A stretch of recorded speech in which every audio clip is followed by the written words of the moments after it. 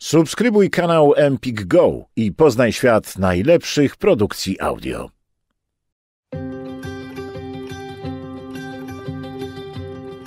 Empik Go zaprasza do wysłuchania książki Anny Koprowskiej-Głowackiej zatytułowanej Rybak i diabeł legendy z nadmorza bałtyckiego. Czyta Natalia Grzeszczyk. Wstęp. Rybak i diabeł, legendy z nadmorza bałtyckiego to zbiór wybranych baśni, podań i legend, które łączy jeden z najciekawszych na świecie akwenów wodnych. Morze Bałtyckie, nad którym leży dziewięć państw. Polska, Litwa, Łotwa, Estonia, Finlandia, Dania, Niemcy, Rosja i Szwecja. Przygotowując niniejszy wybór, uwzględniłam bogactwo tego zbioru, zróżnicowanego tak pod względem tematów, jak i miejsc, z których pochodzą utwory. Morze Bałtyckie jest morzem śródlądowym. Znane było już starożytnym, a jego nazwa zmieniała się w ciągu lat. Dla Tacyta było morzem Swebów. Klaudiusz Ptolemeusz nazywał je Oceanem Sarmackim lub Zatoką Wenecką. Anglosaski podróżnik Wulfstan określał je Ostsea. Dla Olausa Magnusa było to Morze Gockie, zaś kronikarze arabscy Al-Biruni i Masudi nazywali je Morzem Rusów lub Waregów. Było też określenie informujące o jego lokalizacji Morze otaczające Ibrahima ibn Jakuba. Nazwa Bałtyk pojawiła się dopiero w drugiej połowie XI wieku w kronice Adama z Bremy i okazała się najbardziej popularna, choć w niektórych krajach do dziś mówi się Morze Wschodnie lub Morze Zachodnie. Przyznaję, że wybór baśni, legend i podań z tak wielkiego obszaru nie był łatwy. Niemal każdy kraj nadbałtycki ma własne opowieści związane z tym morzem. Niektóre wątki powtarzają się w różnych legendach, jak choćby wątek z opowieści zatytułowanej Czarodziejski młynek, która tłumaczy, dlaczego woda w morzu jest słona. Zbliżone do siebie historie spotykamy w wersji polskiej, szwedzkiej czy litewskiej. Różnią się one detalami takimi jak imiona bohaterów czy sposób, w jaki młynek trafił do morza. Innym przykładem jest historia legendarnego portu Winety. Opowieści o tym niezwykłym mieście pojawiają się w źródłach polskich, niemieckich, szwedzkich, a nawet w sagach wikingów. Wspólne dla wszystkich państw leżących nad Bałtykiem są również historie o morskim potworze, którym dla mieszkańców Polski, Litwy czy Łotwy jest Balti, zaś dla Szwedów Salti. Zbliżone do siebie są także opowieści o syrenach, półkobietach, półrybach, o okręcie widmo, który bynajmniej nie jest latającym Holendrem oraz o władcy morza mieszkającym w bursztynowym pałacu i o dzielnych rybakach, którym niestraszne były żywioły. W tych przypadkach wybierałam jedną z dostępnych wersji, nadając jej uniwersalny kształt. Jako, że nie chciałam ograniczać się tylko do jednego typu opowieści, w zbiorze znajdują się historie z różnych krajów. Dzięki temu obok litewskiej Juraty pojawia się nordycka Gefion, a przy naszej rodzimej Syrenie Zefirze nie brakuje zaklętego w psa królewicza z Finlandii. Wszystkie opowieści łączy jedno Morze Bałtyckie, które staje się niejako głównym bohaterem książki. W przypadku niektórych opowieści nadałam imiona poszczególnym postaciom, by ułatwić orientację w opowieściach i przybliżyć ich relacje. Sądzę, że ta różnorodność stanowi o walorze zbioru, a moich czytelników zachęcam do dalszych poszukiwań opowieści na temat Morza Bałtyckiego. Życzę miłej lektury. Anna Koprowska-Głowacka. Rozdział pierwszy. Dzieci morza.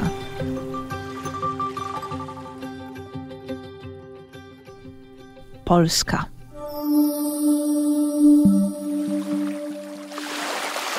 Córka Bałtyku.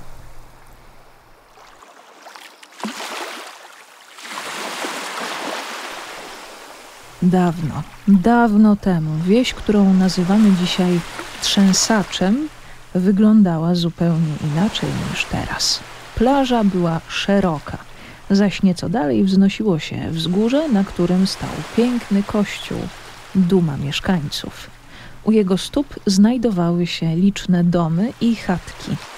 Rybacy z tej wsi byli zamożni, gdyż wody obfitowały w każdego rodzaju ryby.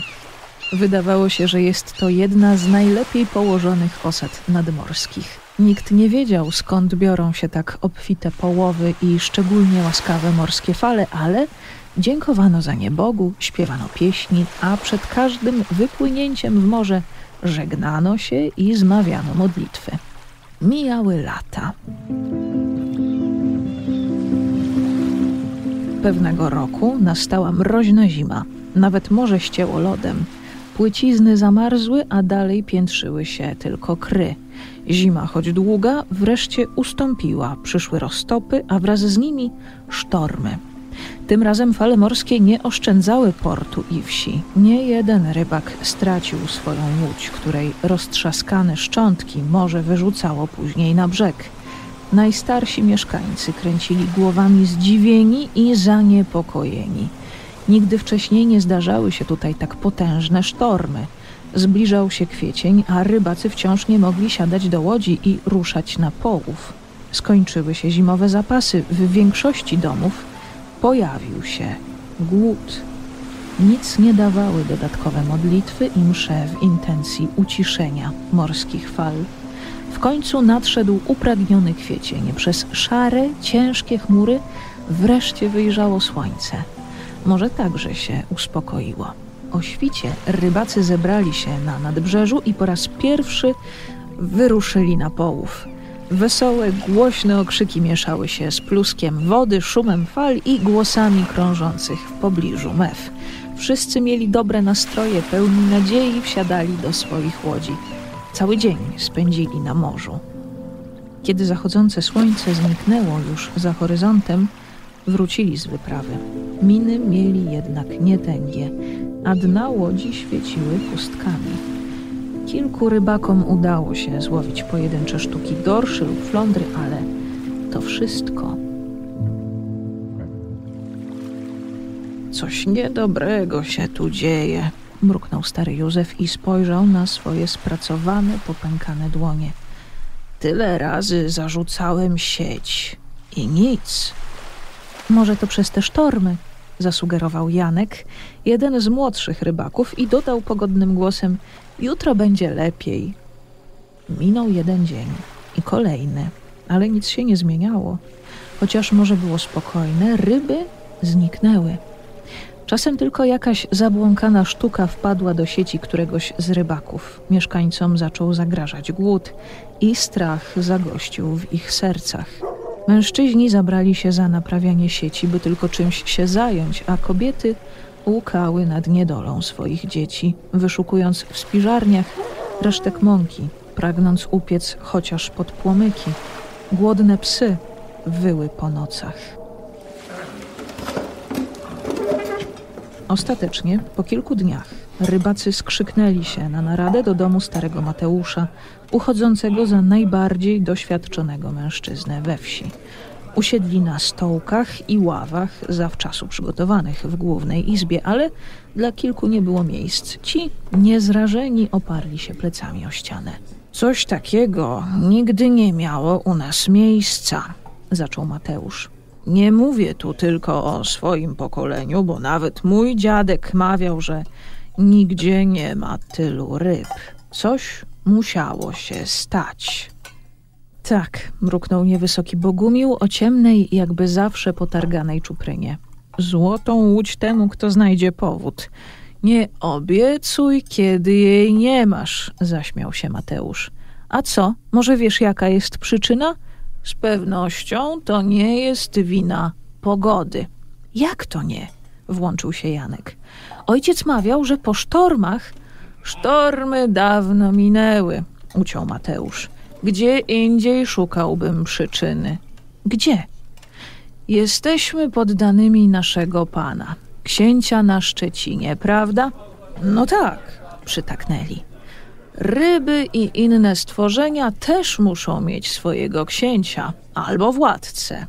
Co wybredzicie, Mateuszu? Przerwał mu rudy Eryk, który jako jeden z nielicznych mieszkańców potrafił czytać i pisać. Będąc wśród niewykształconych rybaków, lubił popisywać się swoją wiedzą. Bóg darował nam ziemię i morze, by nam służyły. Zamilcz, Eryku, skarcił go Bogumił. Wysłuchajmy Mateusza, ale siedź cicho. Starzec tylko pokręcił głową i spojrzał na Eryka z taką wzgardą, że chłopak zwiesił głowę i nie dokończył wywodu. Pływałem po wielu morzach. Nie tylko tutaj. Zwiedziłem krainy, jakich wam się nie śniło. Wszędzie żeglarze opowiadają, że morze ma swojego władcę, któremu podlegają wszystkie morskie istoty. Ów władca ma zaś siedem córek, pięknych jak marzenie. Każda z nich w połowie jest kobietą, lecz zamiast nóg ma rybi ogon. Syreny, wymsknęło się zachwyconemu opowieścią Jankowi, który słyszał kiedyś o tych niezwykłych morskich pannach. Tak, to syreny. Od nich zależy, w jaką stronę skierują ławice ryb. Pozostaje nam już tylko jedno pytanie, czy aby nie obraziliśmy czymś króla mórz lub jego córek. Co to za bzdury? wybuchnął Eryk. Powinien was usłyszeć ksiądz. Szybko wybiłby wam z głowy takie historyjki. Może jesteście ludźmi małej wiary i nie modliliście się zbyt gorliwie o dobre połowy. Niespodziewanie podchwycił pomysł Bogumił. Może nie modliliśmy się do właściwej osoby? Zapytał. Eryk najpierw zbladł jak płótno, a po chwili zaczerwienił się aż po czubki uszu. Z trudem nad sobą panował. Taka sugestia była niemal namawianiem do oddawania czci jakimś bożkom, a on wierzył w prawdy Kościoła. Zacisnął pięści, by nie podnieść głosu. Mimo to odpowiedział dziwnie nienaturalnym, piskliwym głosem. Pierwsze przykazanie. Daj spokój z przykazaniami, warknął na niego bardziej doświadczony Tomasz. W tej chwili chodzi o życie naszych rodzin. Jeżeli rzeczywiście istnieje król mórz i ma swoje córki, może trzeba im dać jakiś podarek. Wszystkie kobiety lubią świecidełka, więc nie dokończył. W izbie zawrzało. Rybacy zaczęli sprzeczać się, kto właściwie ma rację. Jedni poparli Mateusza, inni przypominali kazania księdza Jana. I tak doszło do kłótni, z której nic nie wynikało. Bogumił położył dłoń na ramieniu stojącego obok Janka. Chodź, szepnął. Obaj wymknęli się z chaty i odetchnęli świeżym powietrzem. W izbie było duszno, co jeszcze dodatkowo podnosiło domownikom ciśnienie. Nawet na zewnątrz było słychać, jak przekrzykują się wzajemnie, dowodząc swych racji. Nic z tego nie będzie, stwierdził Bogumił i podrapał się po głowie. Stracony czas. Do świtu niedaleko, a oni tak prędko nie skończą. To zróbmy coś innego. Janek zadziornie spojrzał na twarz krewniaka. Ruszajmy na morze. Na morze? Zdziwił się Bogumił. Tak, sprawdźmy, ile prawdy jest w opowieściach Mateusza. Jeżeli to sprawka króla i jego córek, znajdziemy ich. A wiesz, że to nie głupie? Przyznał. Obaj pobiegli na wybrzeże i sprawdzili stan łodzi. Żagle, wiosła i sieci były gotowe. Wprawdzie do świtu zostało jeszcze trochę czasu, ale nie zamierzali czekać. Wypłynęli w morze, a gwiazda polarna wskazywała im drogę. Ruszyli na północ. Wiał lekki wiatr, więc żagiel pchał łódź szybko i gładko. Łagodne fale kołysały tak, że obaj postanowili się jeszcze zdrzemnąć. Otulili się burkami i położyli na dnie. Oczy zamknęły im się szybko. Kiedy się obudzili, byli już bardzo daleko, otoczeni jedynie szarymi falami, zwieńczonymi białymi grzywami. Po wąskiej linii brzegu nie było już śladu. Dzień budził się powoli. Najpierw zgasły gwiazdy. Na wschodzie niebo zaczęło się rumienić niczym panna młoda, podchodząca do ślubnego ołtarza. Po chwili pojawiły się pierwsze promienie słońca. Szare dotąd morze nabrało kolorów, zalśniło złotem i szmaragdem, jak drogocenne klejnoty. Mężczyźni westchnęli. Kochali wschody i zachody słońca na pełnym morzu. Wszystko było tu takie piękne, nieskalane, czyste, zaś oni czuli się wolni, jak ptaki. Na chwilę zapomnieli o sprawie, która ich tu sprowadziła i rozmarzyli się.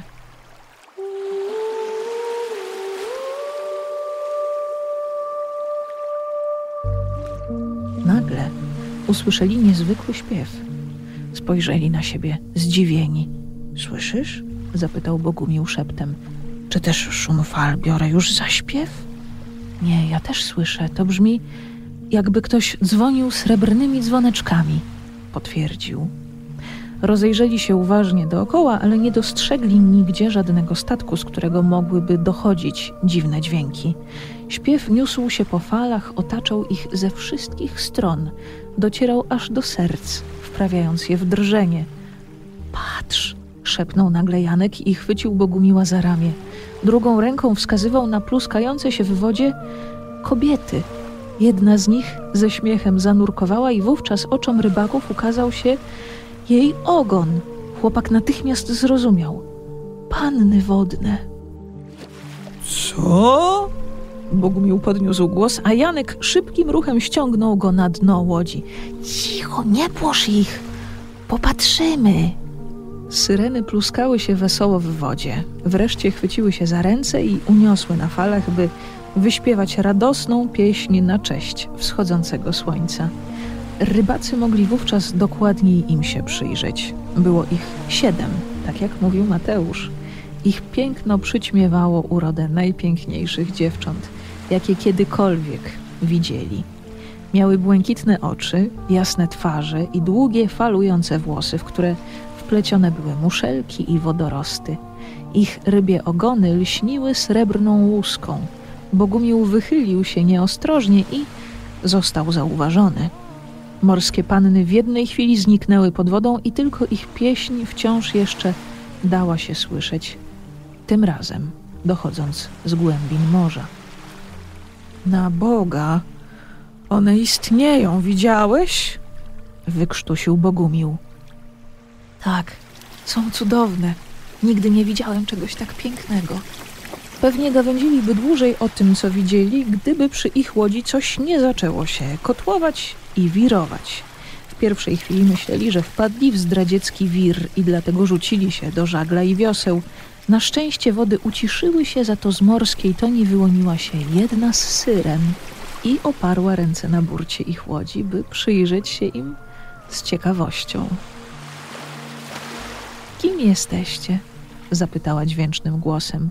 Niewielu śmiałków zapuszcza się tak daleko od brzegu. Zakłóciliście nasz taniec na cześć słońca. Przepraszamy. Janek odważył się zbliżyć do syreny. Wyjaśnimy wszystko. Powiedz nam tylko, kim jesteś? Jestem najstarszą z córek króla Bałtyku. Mam na imię Zefira. Mówiąc to, uśmiechnęła się. Jest nam bardzo miło, odpowiedział dość niepewnie, następnie wskazał na siebie i swojego kamrata i dodał: Ja jestem Janek, a to Bogumił. Jesteśmy rybakami ze wsi Tom Have i szukamy przyczyny nagłego zniknięcia ryb w morzu. Rybacy wracają do domów z pustymi łodziami, a rodziny głodują. Ryb nie ma? Roześmiała się i dodała wesoło. Zaraz coś zobaczysz.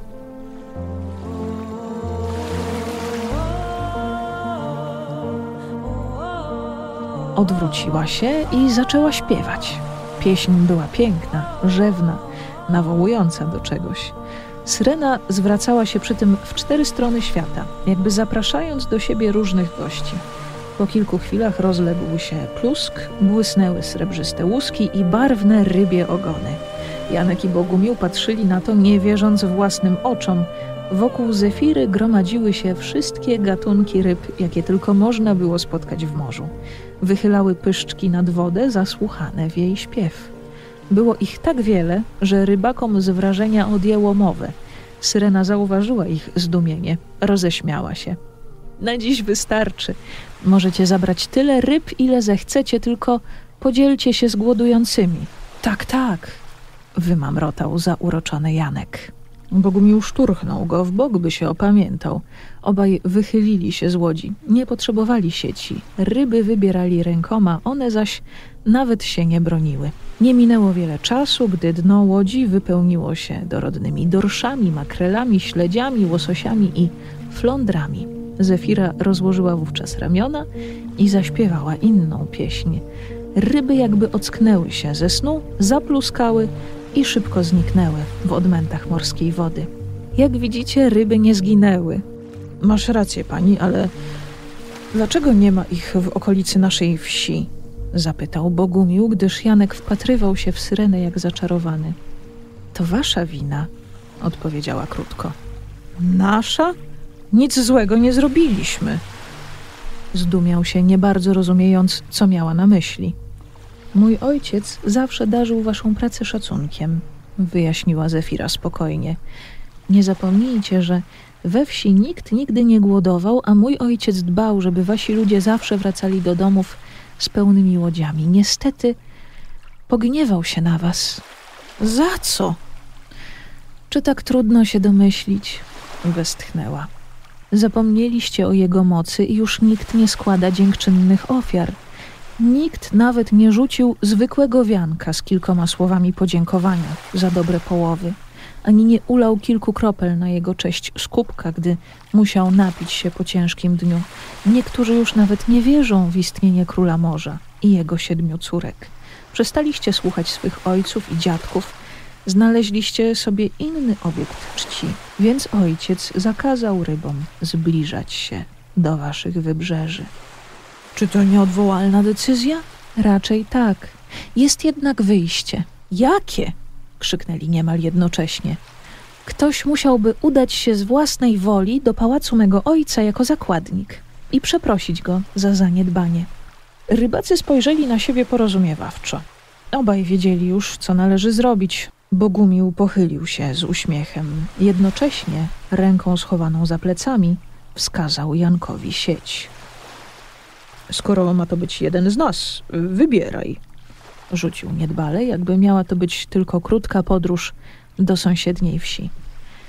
Zefira przyjrzała się im dokładnie. Zakładnik musiał być, jednak to ona mogła zdecydować nie tylko o tym, którego z dwóch mężczyzn zabierze do ojcowskiego pałacu, ale również o podarowaniu mu nieśmiertelności.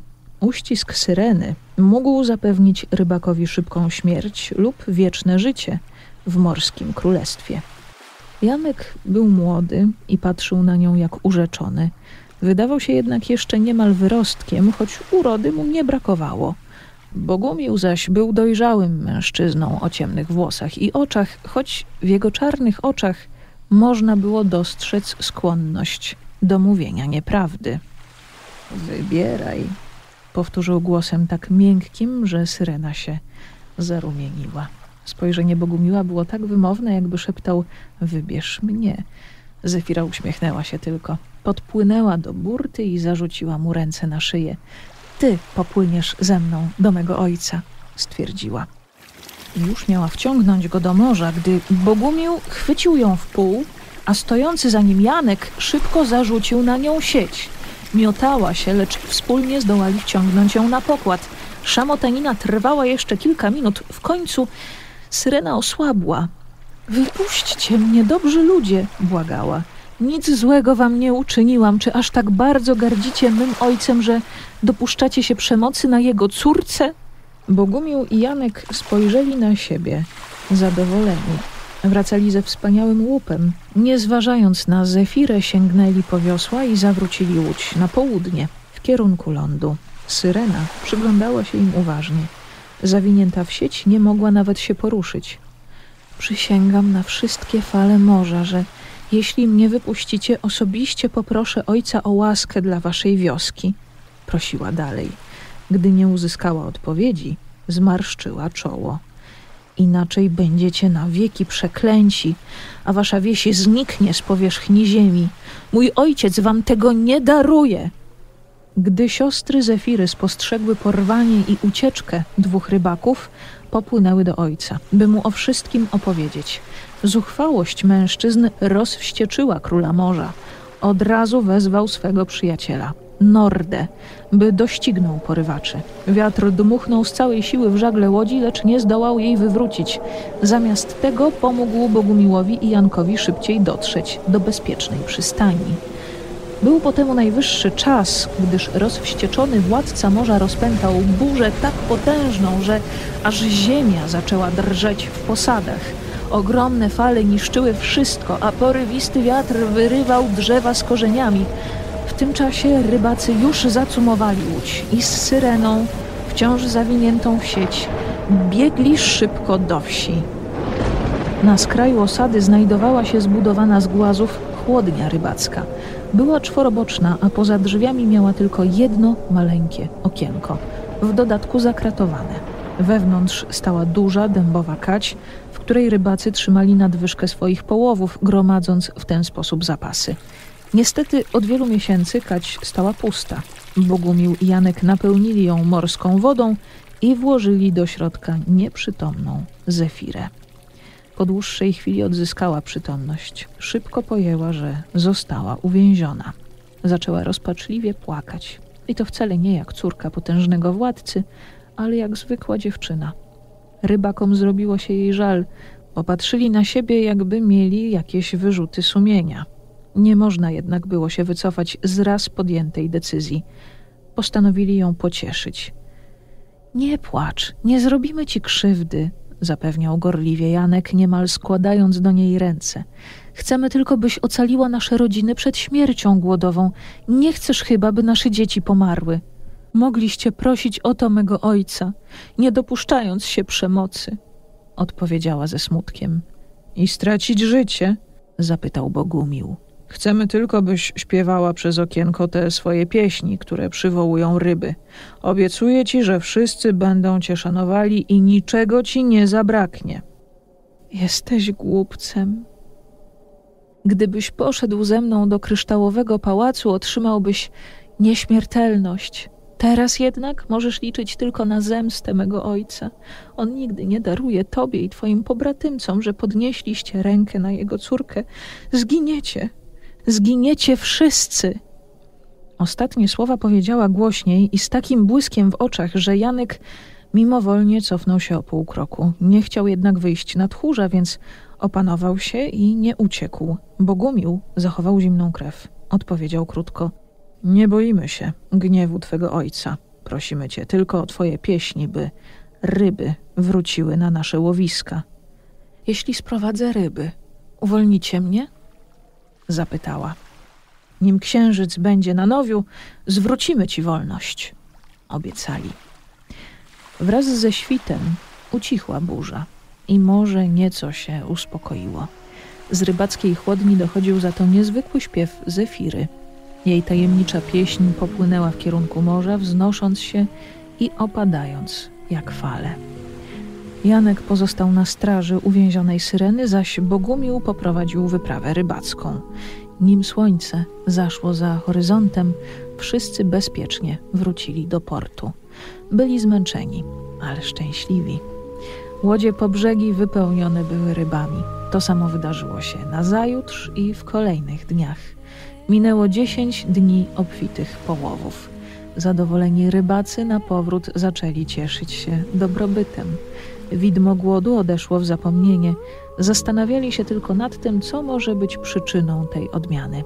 Bogumił i Janek postanowili zdradzić swój sekret. Zwołali naradę w domu Mateusza.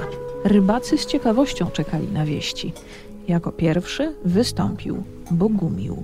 Mateusz miał rację, stwierdził. W morzu pływają syreny.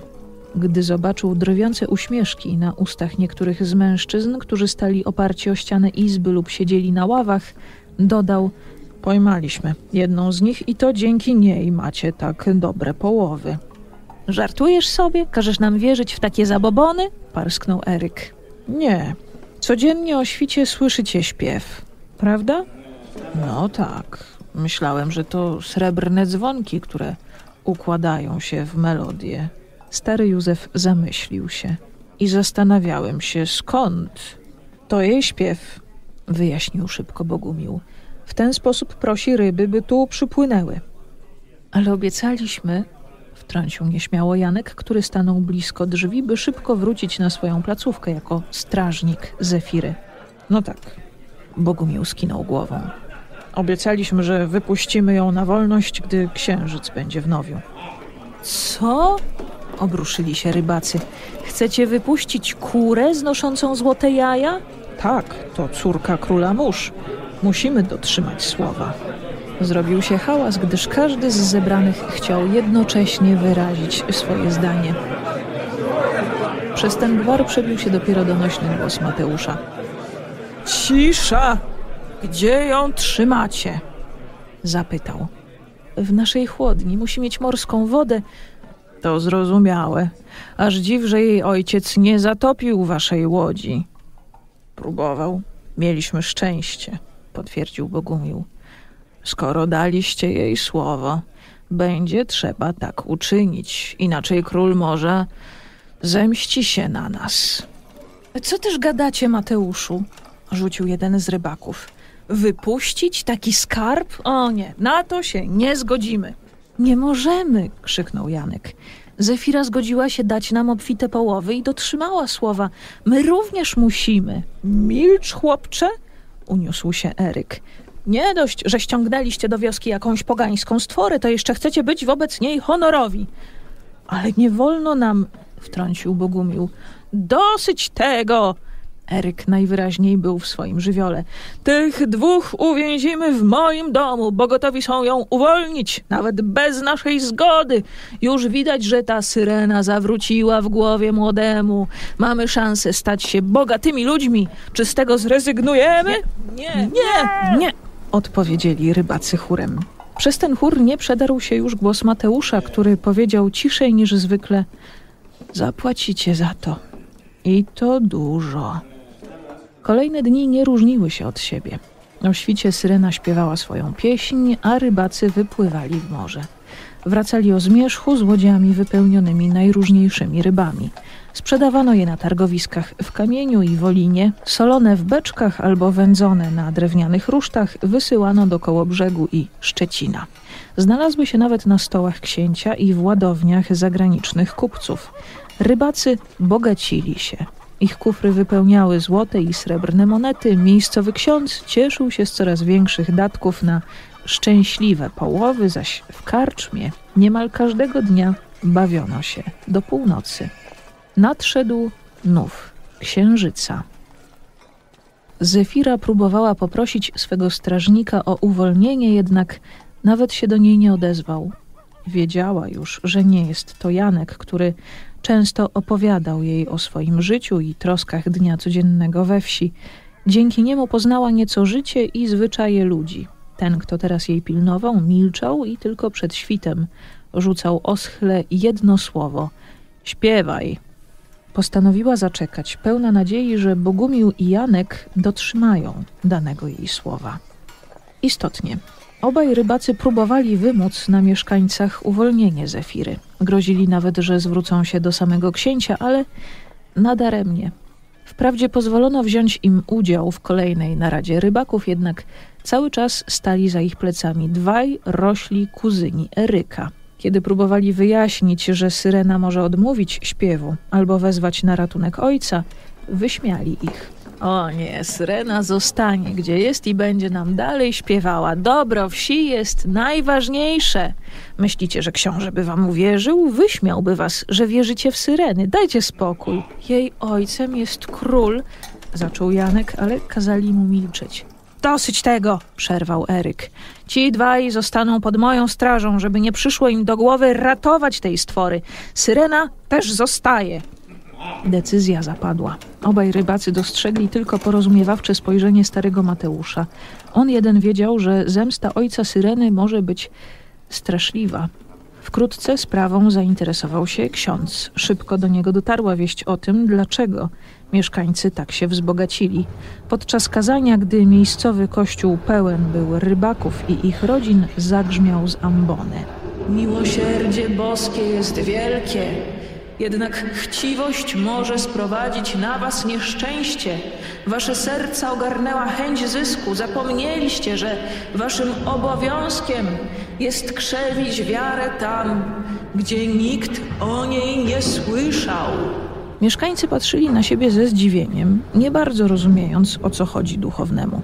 Czyżby chciał, żeby pozbawili się źródła swych dochodów? Niektórzy zaczęli kręcić się niepewnie na swoich miejscach, jakby czując się osobiście dotknięci tymi słowami. Ksiądz zauważył poruszenie, zadowolony z mocy swych słów, dodał: Wiem, że na terenie naszej wsi przebywa osoba, która nie zna boskiej łaski. Sprowadzenie jej było grzechem, ale ów grzech możemy zmienić w błogosławieństwo. Kiedy pozna ona naszą wiarę i zostanie ochrzczona, zechce z własnej woli pozostać tutaj na zawsze. Rybacy odetchnęli, zrozumieli słowa księdza i przyznali mu rację. Na dwa dni przed kolejną niedzielą syrenę zabrano z chłodni i przyniesiono do chaty, która znajdowała się obok plebanii. Tam miała oczekiwać na odmianę swego losu. W międzyczasie Eryk, który uchodził za najbardziej wykształconego we wsi, próbował jej tłumaczyć, jak wielka łaska na nią spłynie. Słuchała go, ale jej myśli błądziły w stronę morskich fal i kryształowego pałacu, w którym pląsała z siostrami. Nie interesowały jej sprawy ludzi. Potrzebowała morskiej wody i wolności. Niczego więcej. Tymczasem zamiast tego zaniesiono ją w niedzielę do kościoła, gdzie ksiądz udzielił jej chrztu. Postanowił nadać jej imię świętej, która była patronką tego pięknego, majowego dnia. Nadaję ci imię Zofia, powiedział, nie bacząc na to, że syrena niemal mdlała w dusznym, pełnym ludzi kościele. Kiedy skończyły się uroczystości, osłabła tak bardzo, że leżała na posadzce bezwolnie, jak wyrzucona na brzeg ryba, niezdolna do ucieczki i nieświadoma tego, co dzieje się dookoła niej. Brano to za oznaki wzruszenia i nawet nie zwrócono uwagi na niepokojącą bladość jej lica. Wszyscy radowali się i chcieli zobaczyć nową parafiankę. Po ceremonii wyniesiono syrenę do tego samego domu, w którym trzymano ją przed chrztem. Widzieliście, jaka była wzruszona, gdy ksiądz nadawał jej nowe imię? Pytał dumny Eryk, który przypisywał sobie część zasług. A mnie wydawała się coś blada, jakby chora, wtrąciła żona jednego z rybaków. Gdzie tam chora? parsknął. Miała zbyt wiele wrażeń. W morzu oglądała tylko ryby i inne stworzenia, a tu mogła podziwiać nasz wspaniały kościół i uczestniczyć w tak niezwykłej uroczystości. Wszyscy byli pewni, że kiedy syrena dojdzie do siebie, wyrazi chęć pozostania z mieszkańcami wsi. Wszak była już częścią społeczności. Nie była Zefirą, lecz Zofią, prawdziwą córką kościoła. Nikt nie przypuszczał, że ktoś mógłby być niezadowolony z takiego obrotu spraw. Słońce zachodziło krwawo nad horyzontem. Doświadczeni rybacy wiedzieli, że to zapowiedź nadchodzącego wiatru, przyjaciela króla Bałtyku, tylko czekającego na jego rozkazy. Morze było spokojne, choć w wysokich sosnach złowieszczo szumiało. Mieszkańcy rozeszli się do swoich domów, by odpocząć przed kolejną wyprawą. Jedynie młodzi udali się do gospody, by zabawić się jeszcze, popić i potańcować. O północy rozległ się świst wiatru i łoskot ciskanych z nieba gromów. Ziemia aż drżała w posadach, gdy uderzały w nią pioruny. Błyskawice były tak silne, że chwilami było jasno jak w dzień. Wichura zrywała dachy domów, z trzaskiem łamała drzewa i porywała wszystko, co znalazło się na jej drodze. Zbudzeni mieszkańcy i bywalcy gospody wybiegli przerażeni na zewnątrz. Zobaczyli, jak nad morzem tworzy się potężna trąba powietrzna. Po chwili dostrzegli w blasku kolejnych błyskawic ogromną ścianę spienionej wody, która miała wysokość najwyższych drzew. Na jej szczycie, na bursztynowym rydwanie, jechał sam władca Bałtyku z wiązką piorunów w dłoni. Fale z łoskotem uderzyły o ściany kościoła, zabierając ze sobą stojące obok budynki. Tym samym uwięziona Zefira znalazła się w objęciach ojca, który wraz z nią zniknął w odmętach wzburzonej wody. Tymczasem we wsi rozpętało się istne piekło. Fale runęły na budynki i zalały wszystko. jednocześnie zabierając ze sobą kawał ziemi. Potężna burza i sztorm trwały przez całą noc. Dopiero o świcie wiatr osłabł, a morze zaczęło się uspokajać.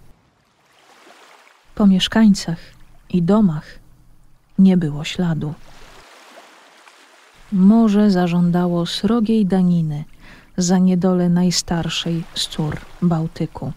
Przy życiu pozostali tylko Bogumił i Janek, którzy o północy, gdy fale runęły na wieś i zwaliły jedną ze ścian domu Eryka, wybiegli, by dostać się do syreny i ją uwolnić.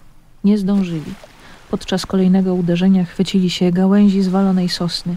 Myśleli, że już po nich, ale ocknęli się rankiem aż na skraju lasu. Dopiero po jakimś czasie odważyli się puścić gałęzi i stanąć na drżących nogach. Widząc zniszczenia, oniemieli. Ze wsi nie pozostało niemal nic, poza resztkami kilku stojących pod lasem domostw i częścią kościoła. Dramatyczne wydarzenia zmieniły także ich samych.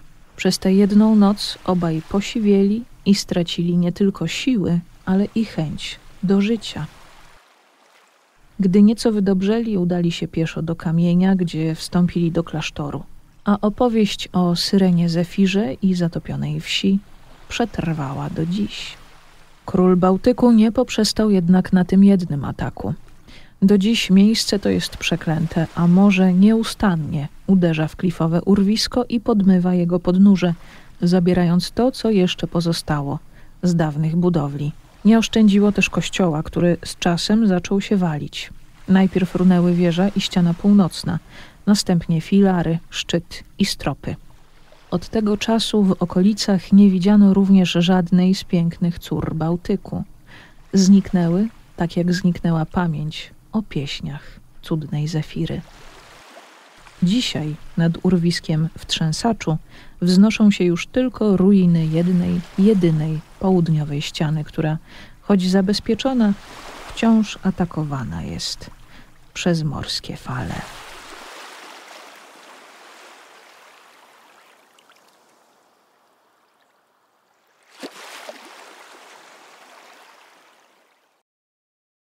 Subskrybuj kanał Empik Go i poznaj świat najlepszych produkcji audio.